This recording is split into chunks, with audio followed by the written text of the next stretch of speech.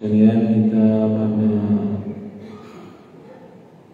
kesempatan pagi hari ini dimudahkan Allah SWT untuk bisa sholat subuh berjamaah sebagai amal ibadah yang sangat penting untuk bisa diistiqomai oleh kaum muslimin. Karena di antaranya Nabi sampaikan asqalu sholat munafikin salatul isya wa salatul subhi Salat yang paling berat bagi orang munafik itu adalah salat isya dan salat subuh. Walau ya'lamuna ma fihima la'atawhuma walau habawa. Sekiranya orang-orang munafik ini mengetahui keutamaan yang ada pada salat isya dan salat subuh tersebut, pastilah mereka akan mendatangi keduanya meskipun dengan mereka. Jadi ada umumnya manusia memang tidak tahu keutamaannya. Fadilah Isya dan subuh berjamaah itu banyak yang tidak tahu. Banyak yang tidak menyadari. Karena itulah kehadiran kita di sini menandakan betapa Allah taala mengasihi kita semuanya, mengasihani kita semuanya, memberikan hidayah kepada kita semuanya, dan ini merupakan karunia yang sangat mahal. Maka mari kita syukuri Allahumma inna ala dzikrika wa syukrika wa husni ibadatik. Baik. Ibu sekalian masuk pada pertanyaan yang ke-10. Bayaquluhu ma hiyal asbabul munjiyatu min azabil qabri? Apa saja sebab-sebab yang membuat kita bisa selamat dari azab kubur? Sekali lagi, apa saja sebab-sebab yang bisa menyelamatkan kita dari azab kubur? Maka beliau Ibnu Qayyim al-Jauziyah dalam kitab Ar-Ruh ini memberikan dua jawaban. Wa jawabuha aidan min wajhain mujmal wa mufassal. Ada jawaban yang sifatnya umum, ada yang sifatnya terperinci. Adapun yang sifatnya mujmal atau sifatnya umum atau global, fa huwa tajannubu tilkal asbab allati taqtadi adzab al-qabri yang umum adalah bagaimana kita ini supaya bisa menjauhkan sebab-sebab yang membuat kita ini kena azab kubur. Tentu saja begitu. Apa contohnya? Wamin anfaiha di antara yang sangat bermanfaat. Ini bagus kalau bisa kita kita amalkan yang kita praktekkan. Meskipun tidak mudah ya, tapi kalau kita bisa melakukannya itu luar biasa nasihat dari Ibnu Qayyim al-Jauziyah. Itu apa? An yajlisal insanu indama yuridu nauma lillahi sa'atan. Pertama, sebelum tidur jangan langsung tidur, tapi duduk dulu. Kemudian niatkan tidurnya karena Allah SWT. Sebentar saja yuhasibu nafsahu fiha ala ma khasrahu wa rabihahu fi kemudian diingat-ingat dalam 24 jam terakhir dalam sehari semalam yang terakhir apa-apa kira-kira perbuatan perkataan yang merugikannya dan apa yang menguntungkannya untuk akhiratnya. Kata-kata apa yang kira-kira membuat dalam sehari semalam itu insya Allah saya beruntung mana yang kira-kira malah kita bangkrut ثم يجدد له توبة نصوحا بينه وبين الله Kemudian setelah itu dia tobati dengan tobatan nasuha. Hal-hal negatif, hal buruk, kemaksiatan, ya mungkin termasuk kata-kata yang kotor, mengadu domba, menggibah, berbuat maksiat, itu semuanya ditobatin tobatan nasuha. Kapan itu? Menjelang tidur. Apa manfaatnya? Fayanamu ala tilka taubah. Maka berarti orang seperti ini ketika dia tidur dihantarkan dalam kondisi dia sedang tobat. Sedang tobat. Wa ya'zimu ala an la yu'awida dzamba idza Kemudian dalam mengantarkan tidurnya itu kita bulatkan tekad kita. Kita mantapkan tekad kita itu untuk tidak akan mengulang kembali dosa yang kita lakukan selama sehari semalam sebelumnya itu apabila Allah izinkan kita untuk bangun.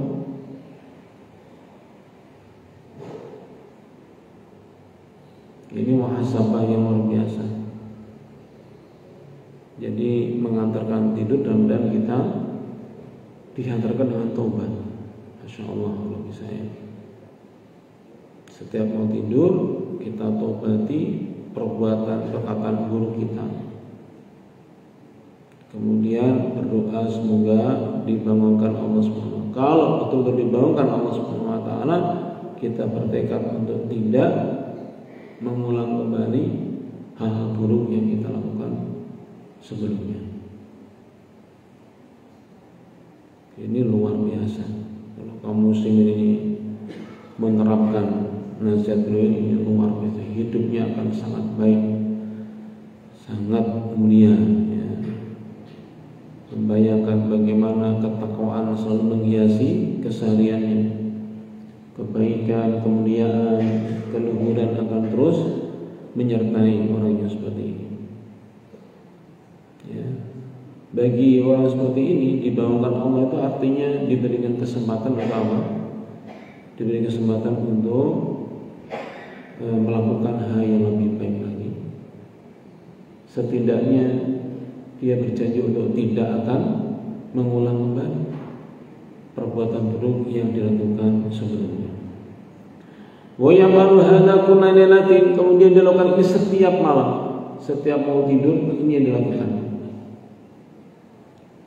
Fa imata min lailatihi mata ala taubatin. Andaikan setelah dia berangkat tidur Allah panggil dia, dia mati, maka jelas sekali hak adanya dia mati dalam keadaan taubat kepada Allah Subhanahu wa taala.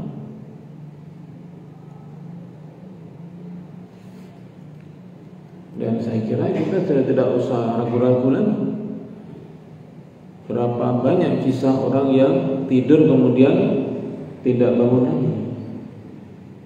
Sudah banyak contohnya. Orang yang tidur kemudian selamanya tidak bangun lagi. Artinya ini sangat bisa jadi mengenai kita. Bisa jadi apa? Kita juga mengalami seperti itu. Terkena seperti itu.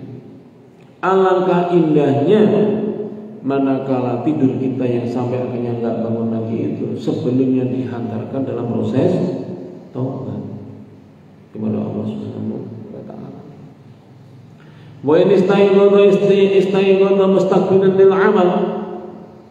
Andaikan kemudian dia bangun, dibangunkan Allah Subhanahu wa taala, maka dia bangun dalam rangka untuk menyongsong untuk melakukan yang lebih baik.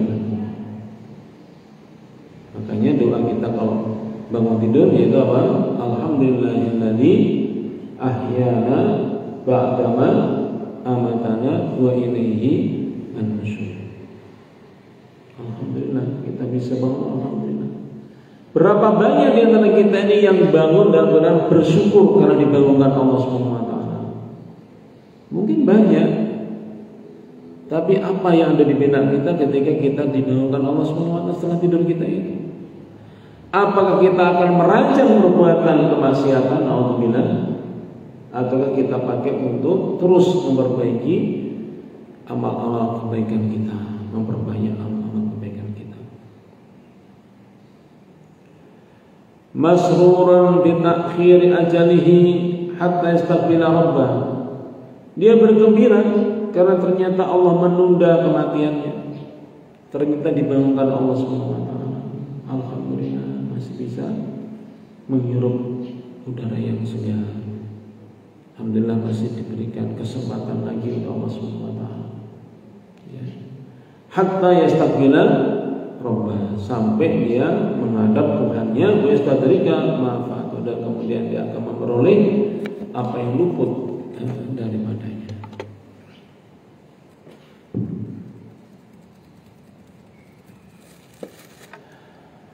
ولسان العبد أنفع من هذه التوبة ولا سيما إذا أقب ذلك بذكر الله dan tidak ada bagi seorang hamba itu yang memperoleh manfaat yang lebih besar dalam kondisi seperti itu kecuali taubat. Makanya kalau kita namanya saya tahu apa mas kendalanya kita mau tidur seperti ini apa apa apa kira-kira? Kendalanya apa kalau kita mau mengamalkan ini? Apa masalahnya? Kita apa sudah ngantuk pol sudah capek ngantuk. Maunya bapak mungkin doa pun juga nggak sempat geblak langsung. Sudah wudhu juga nggak sempat. Berdoa juga nggak sempat apalagi sering muhasabah. Ya setidaknya kalau kita betul-betul karena capeknya karena beribadah, capek dalam melakukan kebaikan, ya minimum perbanyak istighfar. Kita tertidur dalam badan banyak-banyak istighfar. Astagfirullahaladzim. Astagfirullah wa atubu ilaih. Astagfirullah wa atubu ilaih. Setidaknya walaupun kita nggak bisa menghayati itu sudah lebih baik daripada kita diam saja atau kita malah ngomong yang nggak jelas kalau begitu mengatakan dalam badan tidak sedang muhasabah diri karena bagi seorang muslim seorang mukmin sebenarnya tidur itu penuh dengan misteri. Apa misterinya? Belum tentu kita dibangunkan oleh Allah Subhanahu wa taala esok harinya atau setelah kita tidur.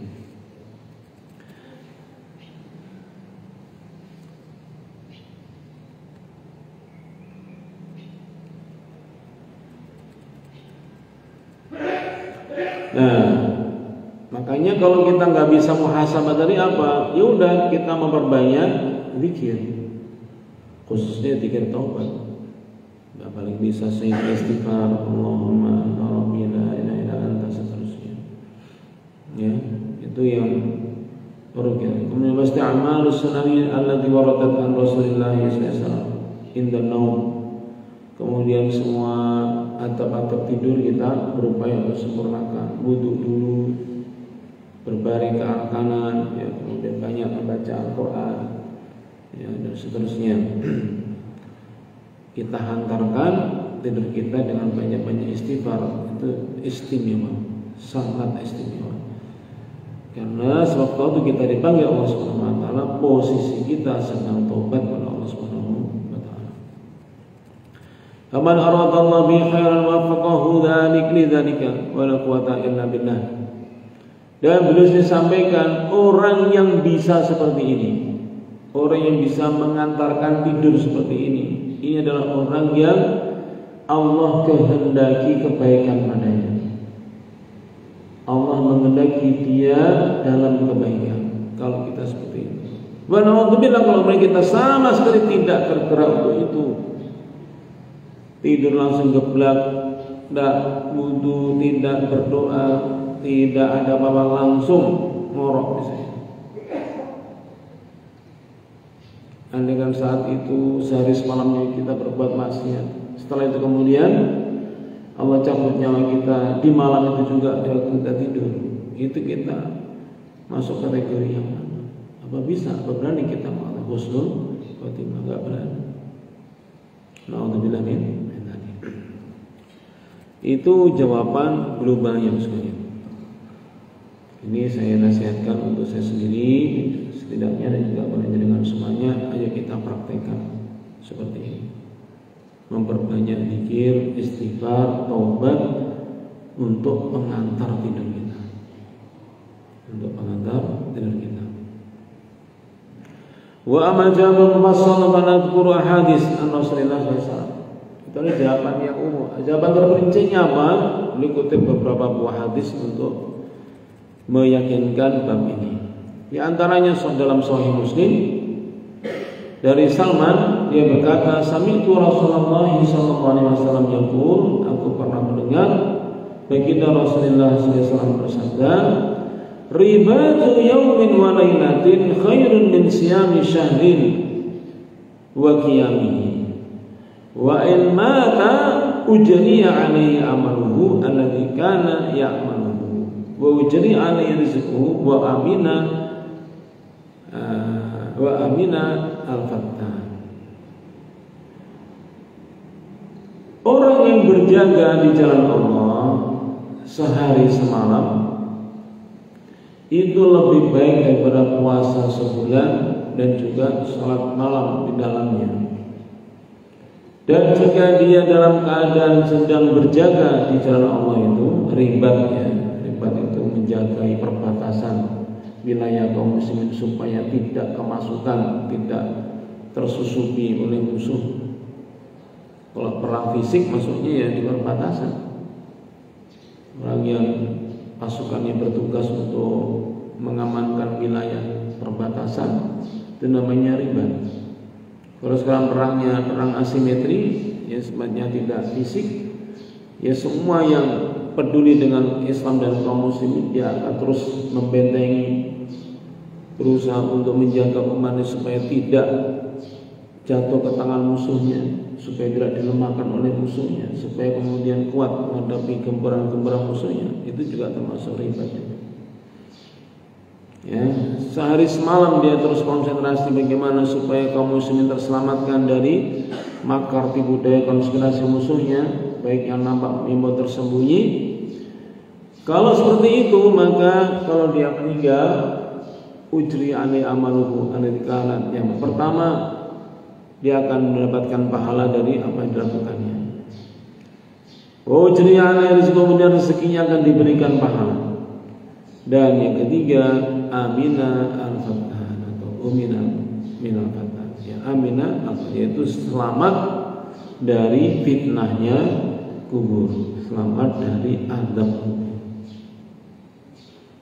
Jadi salah satu pintu Bapak sekalian untuk supaya kita selamatkan dari alam kubur adalah bagaimana kita ribat ribat yaitu berjaga eh, menjaga perbatasan, menjaga wilayah, menjaga kehormatan kaum muslimin dari gempuran musuh-musuhnya itu bagian dari apa? Ribat. Ini yang pertama. Selanjutnya dalam Sunan At-Tirmidzi dari sahabat Fadhalah bin Ubaid dari Rasulullah SAW bersabda, "Kullu mayyitin yuhtamu ala amali illa alladhi mata murabitan fi sabilillah fa innahu yunma lahu amaluhu ila yaumil qiyamah." Setiap orang yang meninggal itu ditutup amalnya Artinya sudah nggak bisa beramal lagi Dia tidak bisa beramal lagi. Kecuali orang yang mati dalam rangka untuk riba di itu berjaga menjaga perbatasan kaum muslimin di jalan Allah. Maka fa'inau yunma amaluhu maka sungguhnya ditumbuh kembangkan amalnya sampai hari kiamat. Wa yu'manu min fitnatul qabr dan dia akan diamankan diselamatkan dari fitnah kubur ini menurut Imam Tirmidzi di sini hasan sahih. Jadi masya Allah ribat. Ya ribat di jalan Allah itu. Menjaga kehormatan kaum muslimin yang nampaknya tersembunyi ya, orang yang berjuang membela kaum muslimin ini memiliki keistimewaan yang luar biasa. Ya, karena dia aminah yu'man min fitnatil qabr dia diamankan dilindungi diselamatkan dari fitnah kubur. Selanjutnya dalam sunan An-Nasa'i dari Rasid bin Sa'ad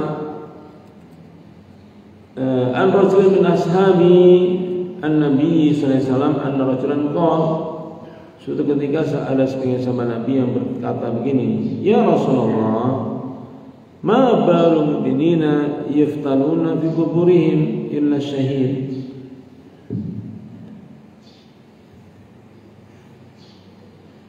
Ya Rasulullah, bagaimana keadaannya orang yang beriman? Yang mereka ini diuji dengan fitnah kubur, dengan adab kubur. Kecuali orang yang mati syahid. Kenapa orang mati itu tidak terkena fitnah kubur? Maka Nabi menjawab apa? Kafa tibarqati suyuf ala raqsihi fitnatan. Cukuplah orang yang mati syahid itu atau orang yang berjuang di jalan Allah itu dengan dia ini terkena kilatan pedang di kepalanya itu sebagai suatu ujian orang yang berperang di jalan Allah itu taruhannya nyawa. Kalau dia berjuang di jalan Allah sampai berani mengorbankan nyawanya, itu sudah cukup untuk mengganti Maksudnya apa? Sudah cukup untuk menjadi alasan Allah tidak akan menghadap kubur. Karena apa? Karena keistimewaan dia dalam berjuang di jalan Allah Subhanahu wa taala.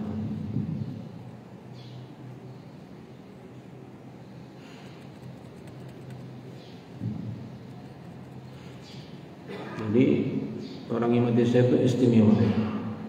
Orang yang mati syahid sangat istimewa. Wa an Ibn bin Ma'ad eh, yakrib qala qala Rasulullah sallallahu alaihi wasallam lisyahidi inda Allah sittu khisalin Demikian juga Nabi sabdakan orang yang syahid itu, orang yang mati syahid itu di sisi Allah memiliki enam keistimewaan. Pertama? Yughfaru lahu fi awali tab'at tab'atin min dami.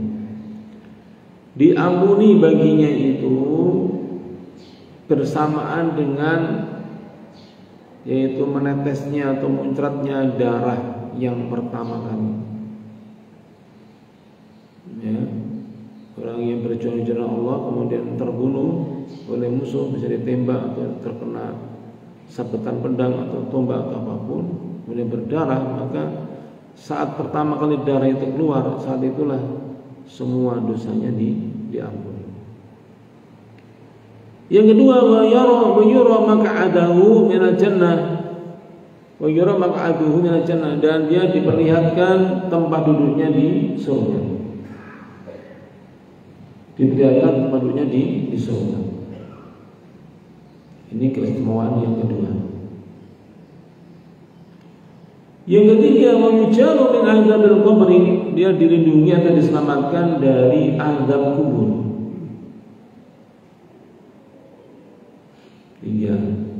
Yang keempat yu'manu min al akbar. Dia akan selamat atau diamankan atau aman dari guncangan besar nanti di hari kiamat. Lima wa yudau ala ra'sihi tajun tajun dan diletakkan disematkan pada kepalanya itu mahkota mahkota ketenangan. Al yaqudu minhu khairu minad dunya wa ma yang eh, apa mahkotanya itu lebih baik daripada dunia dan seisinya. Yang ke berapa yang kelima yuzawwaju eh, berapa? Enam. Yang keenam yuzawwaju isnataini wa sab'ina zawjatan min al-huril in. Yaitu dia akan di apa eh, diberikan 72 bidadari. 72 bidadari. Yushafa bi sam'ina min awqaribihi Ada tujuh ya Itu apa? Dia bisa memberikan syafaat kepada 70 kerabat terdekatnya 70 kerabat dekatnya akan mendapatkan syafaat dari uh, orang yang mati syahid. Ini adalah surat Ibnu Majah dan juga surat Tirmidzi. Hadis ini hasan sahih.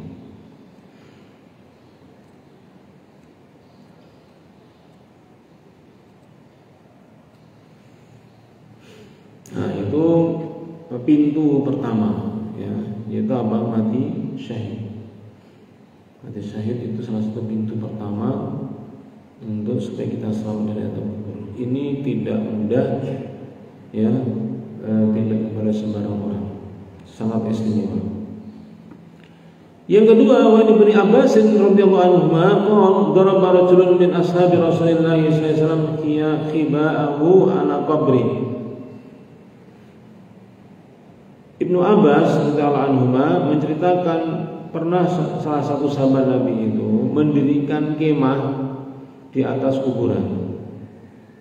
Bahwa la yuhla yahsabu annahu qabrun dan orang ini tidak tahu kalau itu adalah kuburan.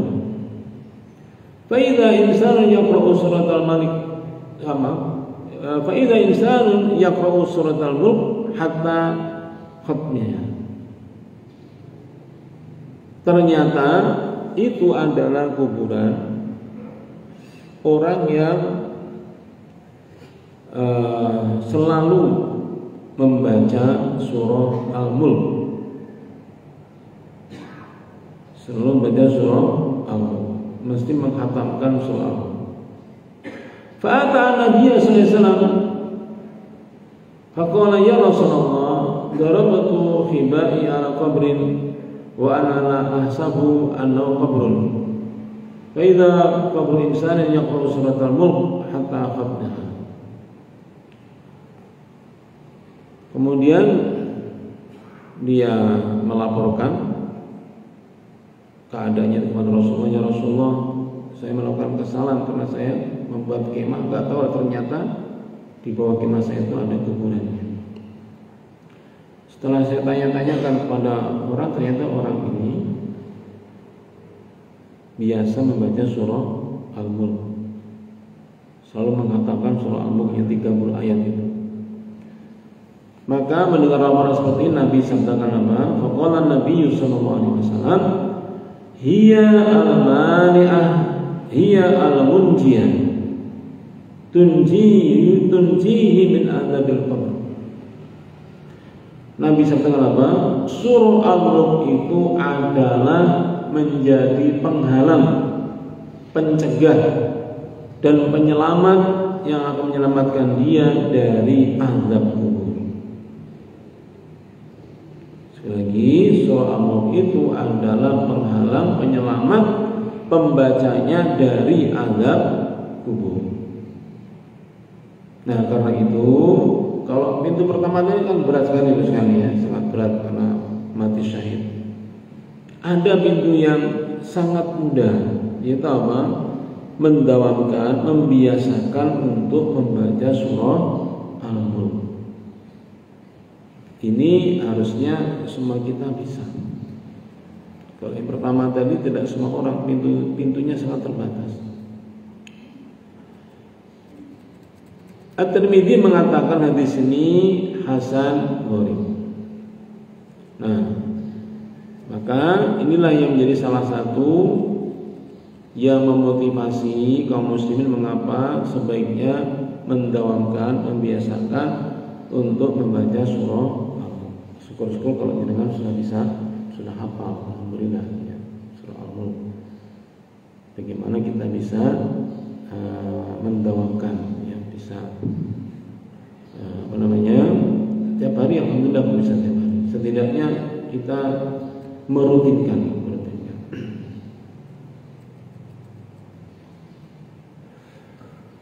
Satu lagi yang saya sampaikan adalah penguat yang lainnya masih tentang keistimewaan surah Al-Mulk itu. An Ibnu Abbasin annahu ala udhifuka bi hadisin tafrobi. Maukah aku kabarkan kepadamu sebuah hadis yang akan buat kamu bergembira? Maka orang mengatakan tentu saja mau. Ibn Abbas langsung mengatakan qala ikra Tabarakalladzi biyadil mulku wa huwa ala kulli qadir. Ya kalau gitu bacalah surah Al-Mulk. Hafidha wa 'allimha ahlaka wa waladaka wa sibyana baitika wa jiranika. Hafalkan surah Al-Mulk itu. Ajarkan surah Al-Mulk itu kepada keluargamu, kepada anakmu, kepada uh, yang ada di rumahmu dan juga bahkan ajarkan kepada tetangga-tetangga. Fa innaha al-munziyah wal mujadilah tujadilu aw tukhasimu yaumal qiyamati inda rabbiha liqariha karena nanti di hari kiamat surah Al-Mulk itu akan membelamu akan uh, mendukungmu membelamu akan terus berupaya berupaya utama untuk menginginkan supaya pembacanya itu selamat nanti di hari kiamat. Wa tatlubunahu ila rabbiya an yunjiyahu min adzabin dan surah Mulk yang kita baca itu akan terus meminta kepada Allah memohon kepada Allah supaya pembacanya itu diselamatkan dari adab neraka. Idza kana fi jawfihi tatkala yang membacakan itu sudah dimasukkan ke dalam ke dalam neraka. Yunajjillahu biya sahibaha min adabil qabr dan Allah akan menyelamatkan pembaca surah Mulk itu dari adab kubur. Qala Rasulullah sallallahu alaihi wasallam la wadittu annaha fi qalbi kulli insanin min ummati. Aku sangat ingin kiranya surah Mulk itu ada di dadanya setiap umatku ini. Itulah harapan bagi Rasulullah sallallahu alaihi wasallam. Saya kira ini sekalian ya yang bisa kita amalkan dari tiga tadi lah, tiga tadi yaitu muhasabah sebelum tidur itu harusnya bisa walaupun tidak bisa sempurna, mari kita biasakan. Kalau mati syahid itu langka, nah yang mungkin adalah bagaimana kita supaya membiasakan untuk membaca surah al al-mulk. Ya, semoga ini masih banyak ya, masih panjang eh, contoh-contoh yang lainnya. Tapi mengingat waktunya, coba kita amalkan dua itu saja membiasakan untuk berdoa istighfar sebelum tidur dan membiasakan untuk baca surah Al-Mulk setiap hari. Maka insya Allah itu akan menjadi ikhtiar kita yang bagus untuk supaya kita insya Allah akan dijaga diselamatkan dari azab. Wallahu a'lam Ada yang mau ditanyakan saya persilakan.